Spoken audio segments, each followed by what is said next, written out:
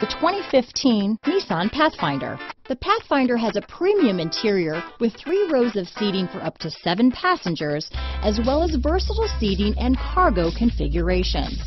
This SUV appeals to both truck lovers and car lovers.